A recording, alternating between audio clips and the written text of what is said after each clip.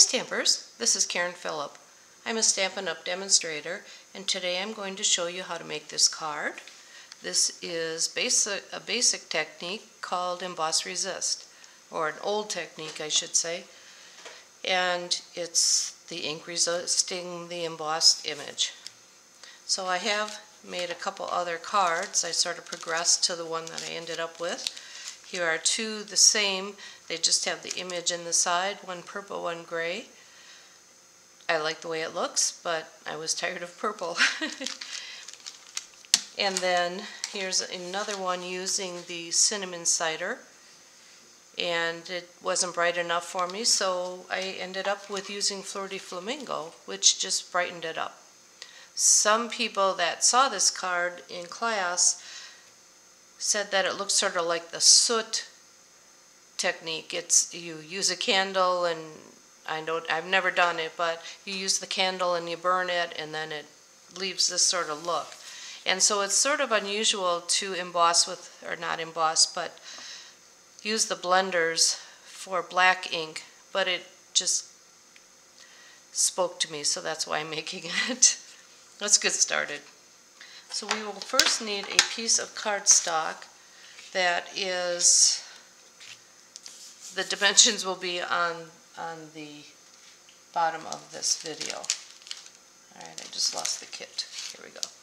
Okay, so I'm using this small piece, and this month we are featuring the Hydrangea Haven set, or suite actually, and so this is a stamp in that stamp set. It's called Hydrangea Haven.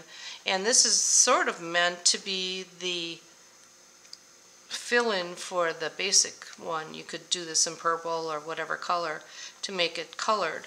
But I'm doing it as one image itself. So just to switch it up a little bit. I have it mounted. I have both pieces mounted. And I'm using Versamark, inking it up. You want to ink it up well.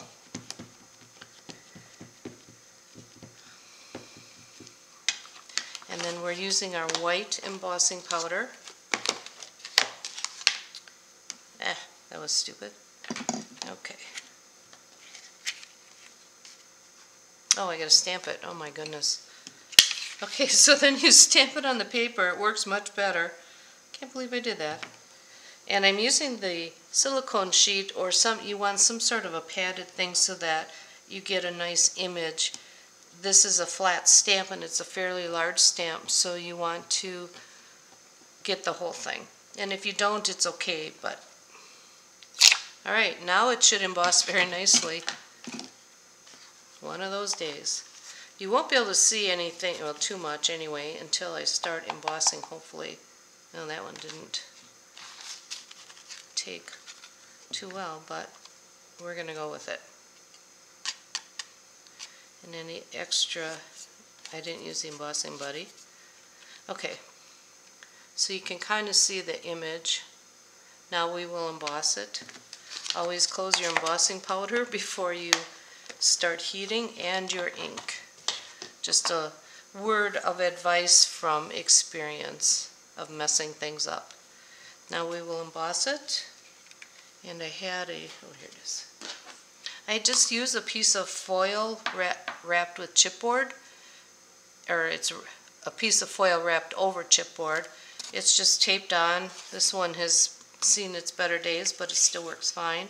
It sort of absorbs the heat so your paper doesn't curl as easy, and it also helps you from burning yourself. All right, me heat it up a little bit here. Now when you emboss, you don't want to go like this. You just want to hold it until the color changes. And again, I, you can kind of see maybe. So now it's changing. Now I'm just following the way the color is changing. And again, you don't want to go like that. It, it doesn't heat it up evenly then. if you kind of raise it up a little bit, you'll the light will hit it so you can see where you've hit and where you've missed. Should be pretty quick. It's a big image. There you go. And so now you can see, there you go, now you can see the embossed image.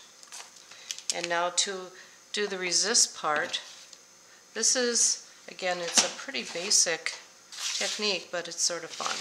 And because we're using black, one key thing that you need to know is you don't want to use any permanent ink, like StazOn or the black archival ink or anything like that, because you won't be able to, it'll stick to the white. And so you want to use a water-based ink. The black memento works well. If you're using colored ink, all of our inks except the white are they're water-based, so you should be okay with that. I'm using my blend. I'm tapping it in. I put my finger here so that if you go like this and just tap it, you'll only get ink on this bottom part, not the whole thing, because these are very flexible and it just kind of like pushes it up. So I like to put my finger on top, tap it. You don't want to rub. Well, you can rub, but then you get, you don't need to rub. Put it there, tap off to get any extra ink and you, so it doesn't blob on you. And then you go around the image. You don't need to hit the white, all of the white if you don't want to. You, it's just really not necessary. You can, but it doesn't, it doesn't really need to do that because you'll be wiping the ink off. And this just gives a nice glow around the image. I got a little blob right there. And you don't want to go too dark. You can. See, I didn't do it again there. It'll still look nice. but now, now you know why I say to do, do and not do things. Okay, it's leaving my finger oh, up. Okay, so it gives you the idea of what I'm trying to do. So basically, you are sponging or using your blends over an embossed image. Now you can see that this image is pretty gray. And to fix that, it's real easy. You can take, let me cover up the ink so I don't make a mess. Okay, you can take a napkin or a paper towel or rag, whatever you'd like to use, and just wipe this off. And as you can see, it takes off all that extra ink. Now it's still kind of gray, which is okay. You can leave it like that. But I think I couldn't find the napkin, so I tried a wipe because that's all I had. So I'm taking a wipe, a, a wet, you could just use a wet napkin as well, but the wipe works. And I'm using just a tiny bit of it. You don't want to get it on the ink because it will kind of smear the ink unless you want that look. So now we're just wiping off, I'll just do half. And uh, yeah, you can see, you can see the difference here. It just brightens it up a little bit, like on this leaf. You can see how much it brightened this one compared to this one.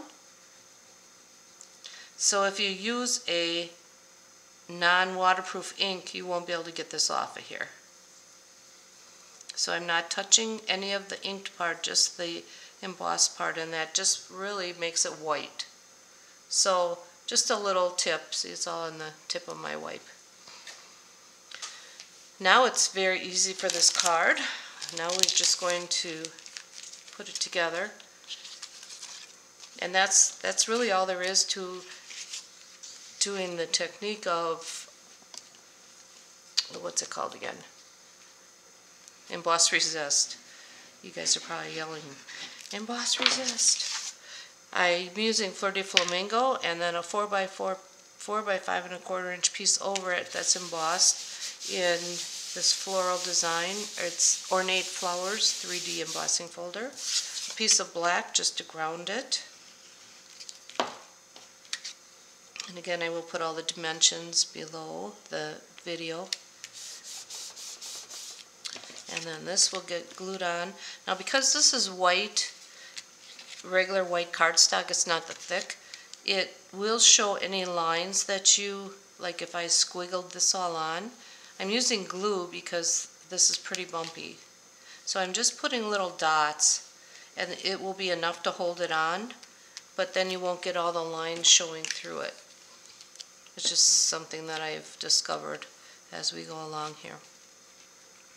Like that, just hold it on a minute. Oops, it's not dry, obviously. Okay.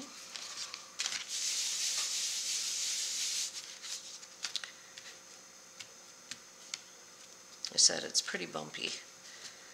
Okay.